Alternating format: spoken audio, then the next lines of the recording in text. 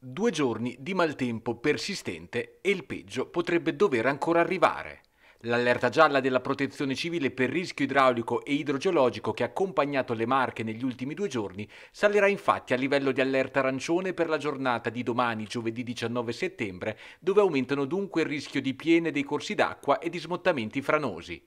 Il tutto dopo un mercoledì che ha creato parecchi disagi, soprattutto nelle province anconetane e maceratese dove solo nella mattinata odierna si sono svolti 70 degli 85 interventi eseguiti dai vigili del fuoco marchigiani per conseguenze del maltempo.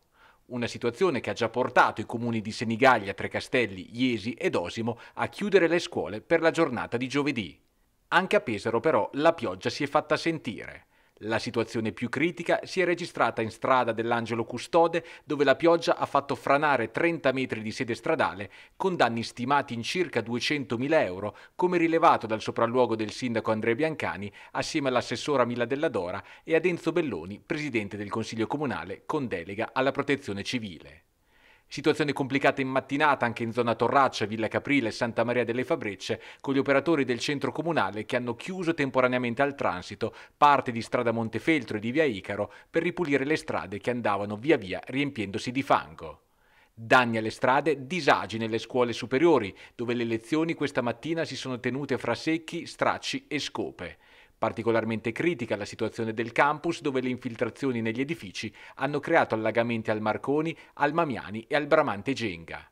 Completamente allagato e fuori uso anche il sottopassaggio pedonale fra il campus e via Guido d'Arezzo.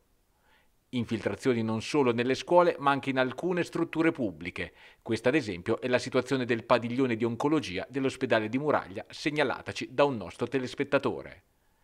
Interventi anche per la rimozione di alberi caduti come avvenuto ad esempio in via Fratelli Rosselli in zona mare. In un settembre in cui è partita la maxi operazione di pulizia delle caditoie, non sono mancati i tombini che hanno faticato a defluire il debordante carico d'acqua, così come sono state diverse le segnalazioni di garage e seminterrati allagati.